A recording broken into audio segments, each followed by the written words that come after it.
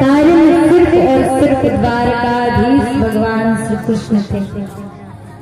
क्योंकि जिनके रथ की दो